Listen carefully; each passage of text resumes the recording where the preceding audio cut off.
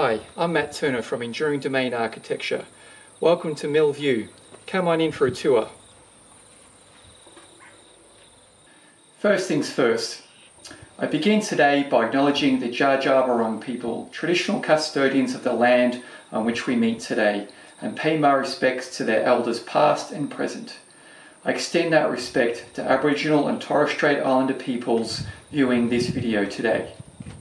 Well, it's probably not a usual way to begin a house tour through the laundry, but in fact, this is not just a laundry.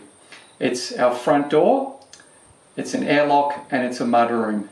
Being a home in the country, we don't need a traditional entryway facing the street. We just need a convenient space to come in, kick off the muddy boots, shut the door behind us, and not let all of our hot air out. But once we go through this door, we are immediately into the heart of the home.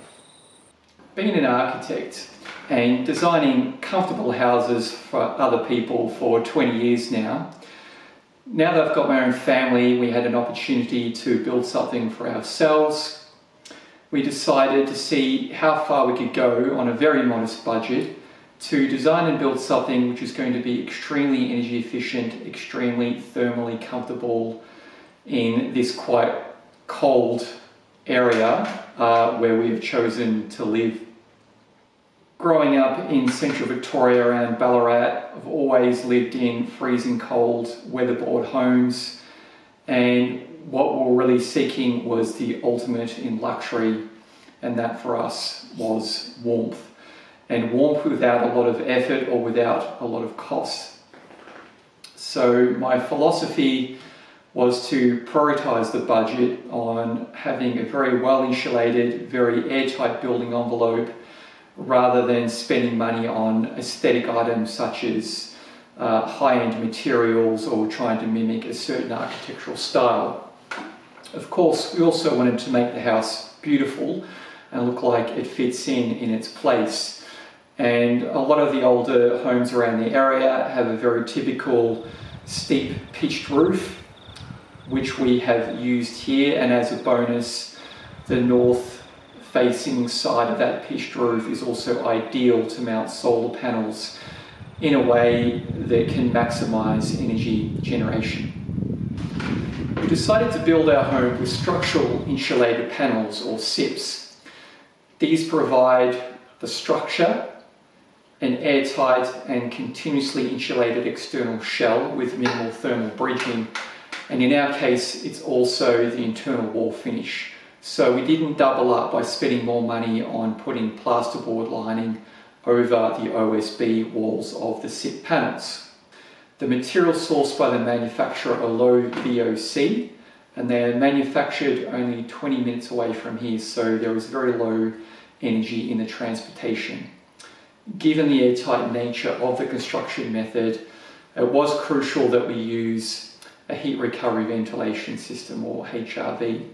This provides continuous fresh filtered air while simultaneously exhausting the stale moist air. This is key to not only providing a healthy indoor environment, but also mitigates structural damage caused by condensation and mold. A bathroom mirror doesn't fog up, the towels are always dry, CO2 levels are kept to a minimum and humidity remains comfortable. Well, some people might say that one of the key components of a passive house is the heat recovery ventilation system, but I think the HRV is very much an active system.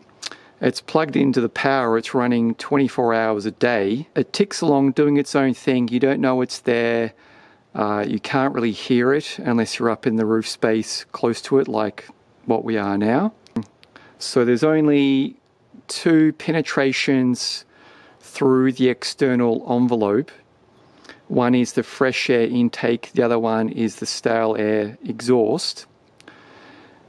And what you can see at the underside of the ceiling is spray foam. So this is a conditioned roof space, uh, very clean, very well sealed up. So the insulation is at the roof line However, we also have an additional layer of R6 batts at the ceiling level, which reduces the conditioned volume under the ceiling that we're trying to heat and cool. And this has made a big difference having this extra layer of insulation. We're not trying to heat or cool all of this roof space up in here.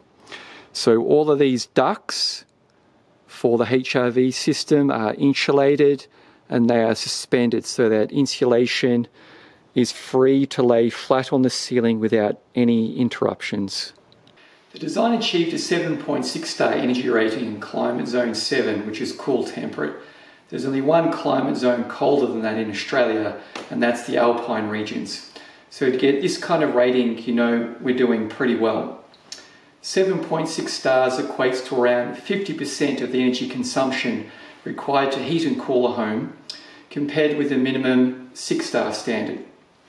We did, however, upgrade to some better performing windows and doors with U values around 1.8.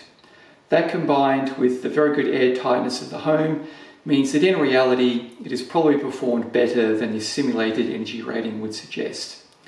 As far as size goes, well, the average Australian home in 2020 was 235.8 square metres, while the average household number is down to 2.6 people. That equates to 90.7 square metres per person.